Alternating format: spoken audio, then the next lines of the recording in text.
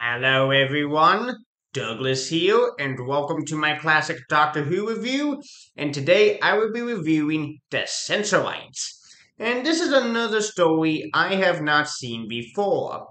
This story is the penultimate story for season 1, and this story is the only one to be written by Peter R. Newman. And this story is directed by two directors.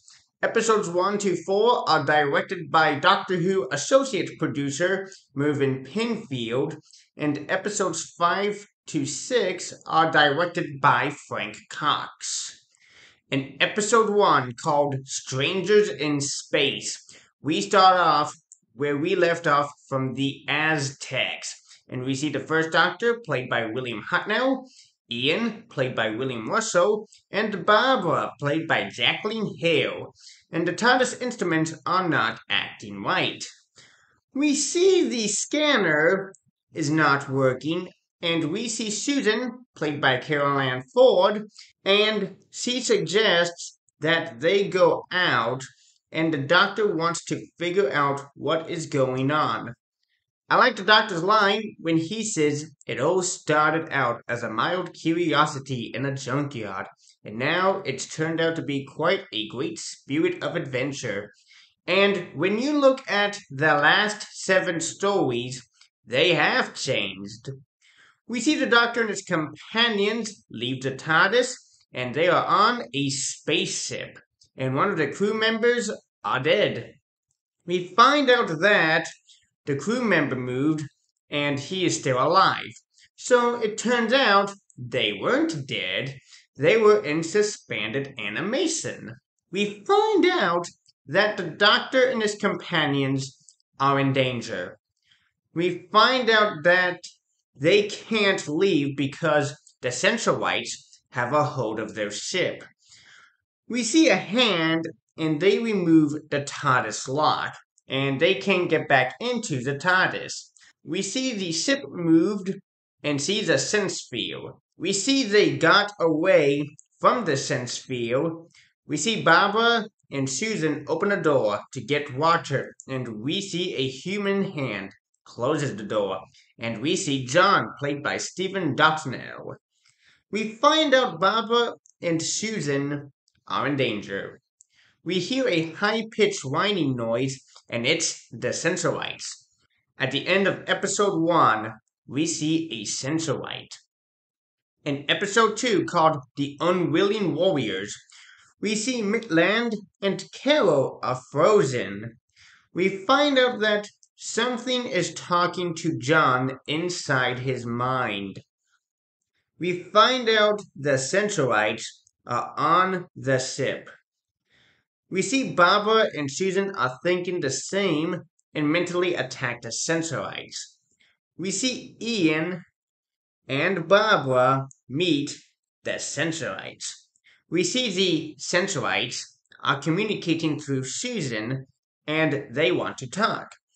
Another good Doctor line when he says, I don't make threats, but I do keep promises, and I promise you I shall cause more trouble than you bargained for we find out that Susan is going down to the sense field, or they will all be killed, and that is the end of episode 2.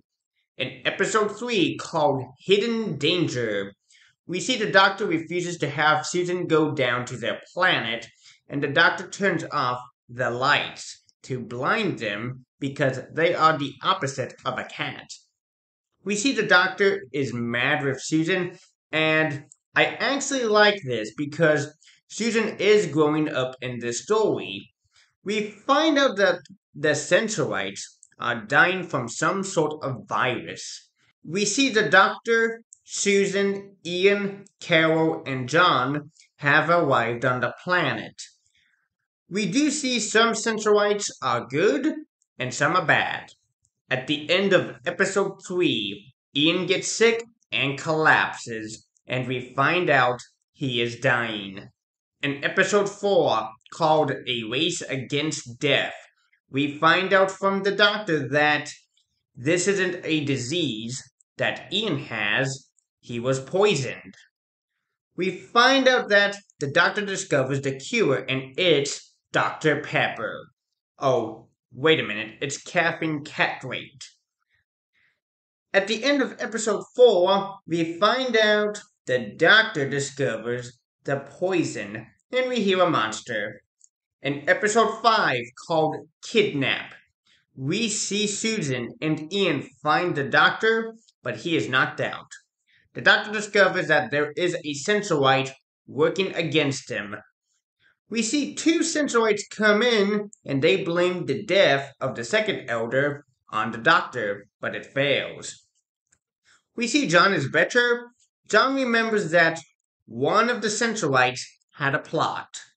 Susan finds out that the city administrator, who became the second elder, is the enemy. At the end of episode 5, we see Carol gets kidnapped. In episode 6, called A Desperate Venture, we find out who kidnapped Carol, and it's the second elder. We see Susan got the letter, and Susan suspects something. We see a man attacks Ian, and the doctor thinks it's one of the survivors. We see Ian and Barbara say goodbye to the first elder, and that is the end.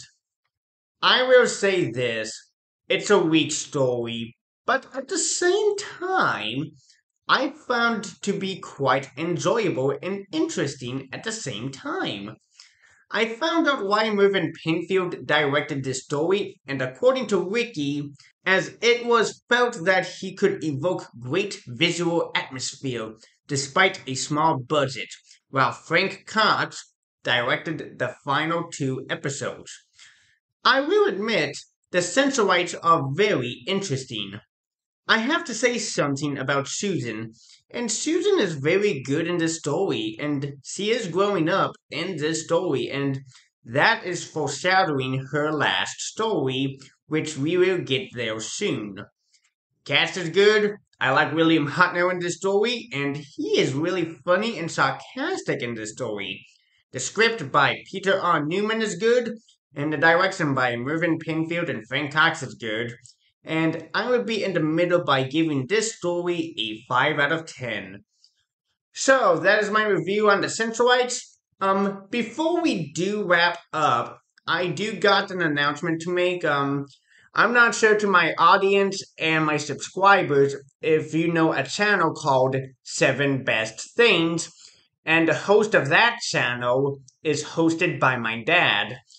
And I want to tell you all this that I will be appearing on Seven Best Things, and we are going to be counting down our seven best songs of the Alan Parsons Project. I don't know when that video will come out, but make sure you subscribe to Seven Best Things and check out that video whenever that's coming out. So, another thing I gotta say is also don't forget to like, share, and subscribe to this channel. And if there is a classic Doctor Who story you want me to review next, leave it in the comments. And I will see you all next time.